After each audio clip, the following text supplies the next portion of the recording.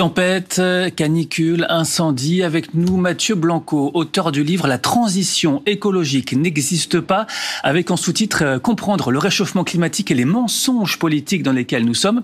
Bonjour, merci d'être avec nous sur euh, France Info.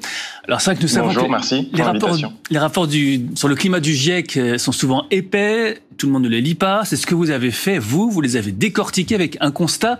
L'argent passe avant la planète. En fait, si nous agissons, c'est uniquement parce que nous sommes au pied du mur. Si on parle de décroissance, c'est par conscience, ce n'est pas par conscience écolo, c'est juste que le pétrole s'épuise.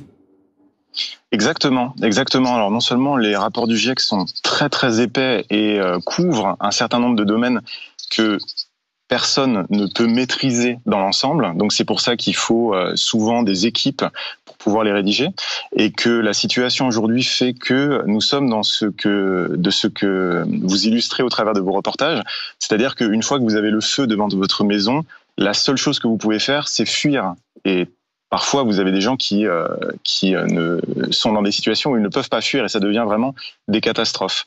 Et donc, à partir de là, quand on analyse et qu'on lit l'ensemble euh, des synthèses que vous avez euh, de ces différents rapports, on se rend compte de ce que vous avez dit, c'est que encore à aujourd'hui, en 2023, la principale chose qui va décider, ça va être l'argent ou la partie financière ou économique des décisions. C'est-à-dire que est-ce que je prends cette décision euh, Est-ce que c'est économiquement viable ou est-ce que ça peut avantager quelqu'un?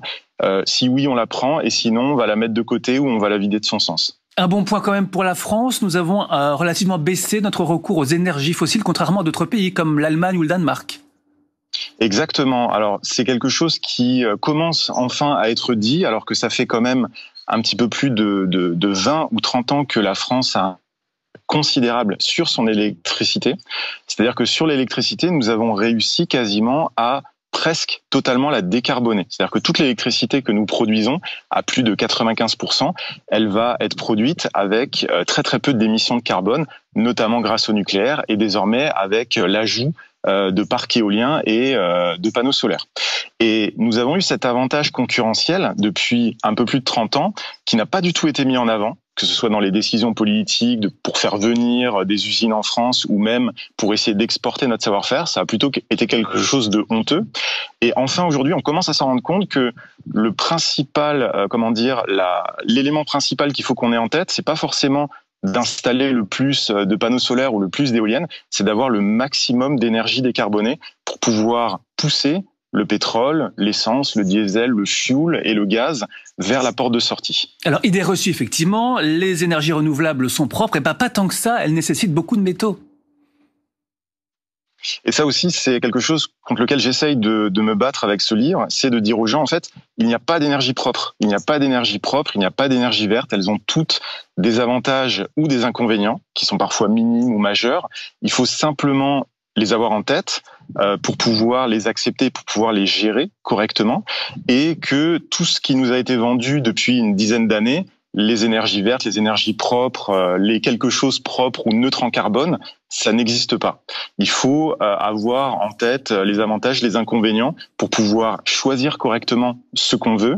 Et il faut savoir que toutes les décisions qu'on va prendre aujourd'hui, notamment sur l'énergie, va définir la place de la France dans 20 ans euh, au niveau du monde. Et en quelques mots, hors des considérations politiques, il ne faut pas cracher sur le nucléaire, donc.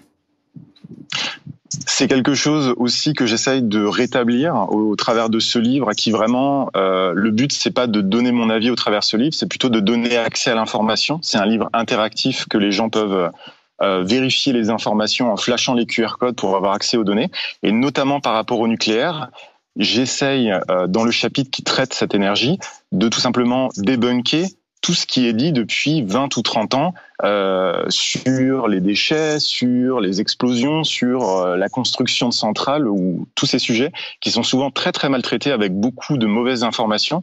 Et donc dans ce livre, vous avez enfin un chapitre qui vous dit bah voilà sur les déchets ça se passe comme ça et si vous voulez vérifier cette information, vous le pouvez. Avec des QR codes effectivement interactifs. Merci. Je rappelle le titre de votre livre, Mathieu Blanco. La transition écologique n'existe pas, que l'on peut trouver sans aucun souci en le commandant notamment sur euh, Internet. Merci à vous. Dans l'actualité, le lourd bilan d'un incendie d'un immeuble à l'île Saint-Denis.